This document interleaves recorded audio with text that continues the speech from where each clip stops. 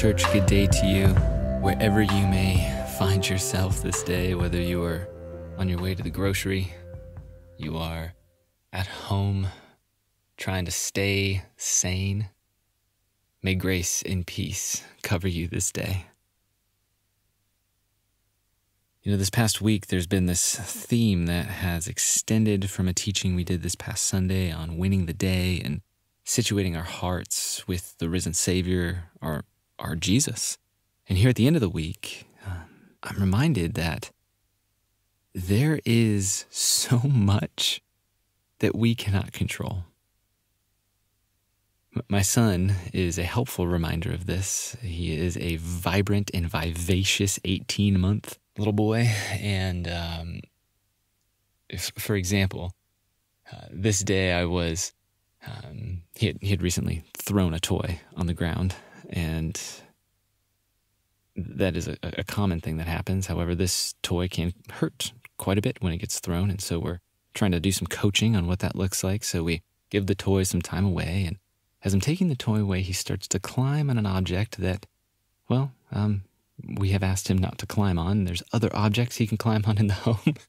And I look back and I see him, and there's no words spoken at this moment. And he sees me and he grins and he backs away. I keep going to give the toy some time away. And I look back again and he's right back in that moment, climbing, grinning, almost laughing.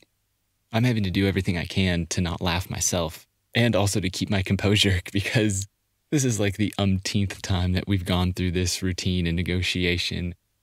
There are some things that we simply cannot control. Maybe they're in your home. Maybe it's in relationships that you're in right now. Perhaps it's it's in the marketplace. You just gave a presentation and it's the last presentation you're going to give for a while. And your job and your income depend on the response to this presentation, and you simply cannot control the outcome. Well, maybe the words of Julian of Norwich from Revelations of Divine Love will find you well today. I had no idea who Julian of Norwich were, was, apart from some obscure quotes I would hear in sermons from time to time. But a friend recently asked if I would want to like read through Revelations of Divine Love, and these are words that, um, in the face of not being able to control much, a thing I, I struggle quite dearly with, they have been of, of comfort. So I give them over to you.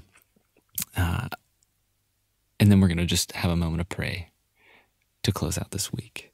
She says this, and forgive the old English, bear with me. He said not, Thou shalt not be tempested. Thou shalt not be travailed. Thou shalt not be diseased.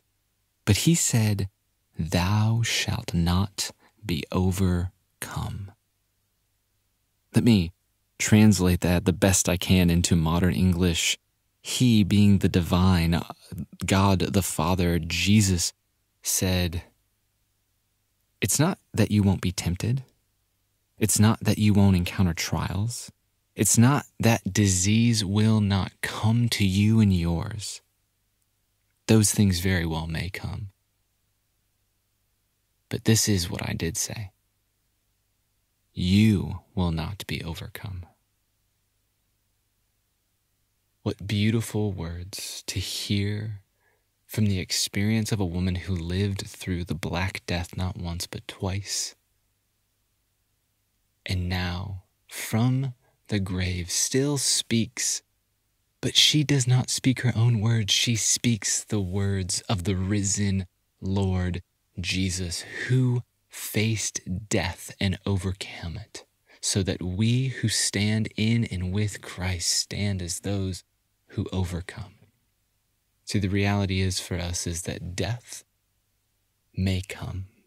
It may come because we live in a world where people drive vehicles that weigh tons multiple miles an hour, it may come because of a virus. In any instance, death comes and it feels as though there is no control over those moments. And there isn't. But with Jesus, we have one who has overcome death, so that our hope is not in this world, but in the renewal of this world where death will no longer reign. So today, as we turn our hearts to pray, I just invite you. May my words be a springboard for words of prayer and hope for you to bring to Jesus. Let us pray. Father, we submit that we simply cannot control the outcome. There's nothing we can do, nothing we can say. Sometimes it is outside our control. And those things that are within the purview of our control help us to not cling so tightly to them so that we create a mystique, an illusion of control, but that God, we would trust you and be responsible in these moments to partner with you through the power of your spirit to be people of love and joy and peace and patience and kindness and goodness and faithfulness and gentleness and self control.